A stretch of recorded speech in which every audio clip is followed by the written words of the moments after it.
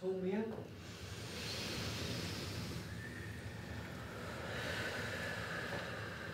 Og en mere.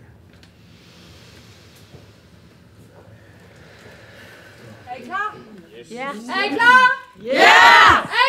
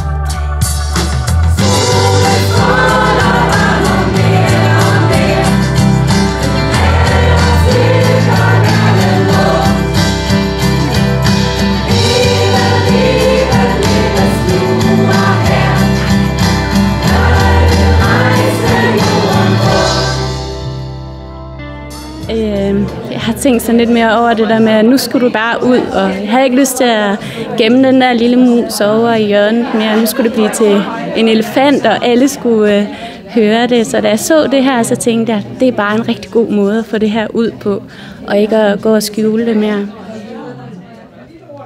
Vi, øh, vi er nok først rigtig gode til at se på de positive ting i vores liv, når det er, at vi bliver, bliver sådan lige et lille dap på skulderen og siger, hvad, prøv lige at huske på det her. Og det er sklerosen en god ting til, hvis man kan sige det sådan. At sklerosen skal være god til noget. Det er en skjult sygdom. Øh, man kan ikke se på flere af os, som har sygdommen, at vi har sygdommen. Øh, jeg har problemer med at gå, og har fået det blå handicapskilt, og når jeg kommer ned og parkerer og skal bruge mit handicapskilt, så får jeg nogle sære blikke. Øh, og jeg var meget forlegen i starten, men nu efterhånden, sådan, de ved ikke, hvad de har med at gøre. Og det er der, jeg synes, den rammer rigtig, rigtig godt, teksten. For, fortæller, at det er noget, som, som, som vi har, som I ikke kan se. Øh, men livet, det går videre. Vi, vi vil gerne det, som alle andre også gerne vil.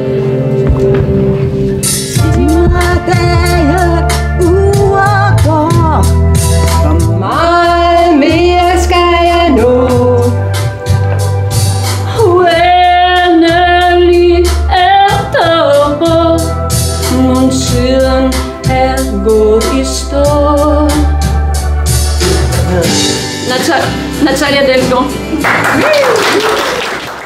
Den, øh, den er livsbekræftende. Jeg har opdaget en, en anden side, en anden måde at leve på, en, en, en øh, meget mere, øh, øh, jeg har meget mere på på mit liv, på hvad der sker i min hverdag hver eneste dag i forhold til før i tiden, hvor, jeg, hvor meget af det var yderst rutinepræget, fordi man, man kørte i det der øh, almindelige ræs. Men pludselig var der jo nogen, der, der, der gjorde, at jeg ikke kunne det, jeg kunne til daglig og så videre. Og så må jeg jo vende mit liv om. Og det synes jeg, den viser godt, at, man, at vi kan. At, at det, det kan godt lade sig gøre, men, men du skal selvfølgelig selv ville det. Nu har jeg det rigtig godt, men for otte år siden, der var jeg meget, meget dårlig. Jeg kunne ikke rigtig gå. Al min finmotorik var taget fra mig. Jeg kunne ikke noget indtæt. Jeg skulle have tøj på, uden lynlås, uden knapper, uden noget som helst. Noget, der skulle trækkes op og ned over hovedet. Så livet skal leves nu og her, og det står i teksten. Solen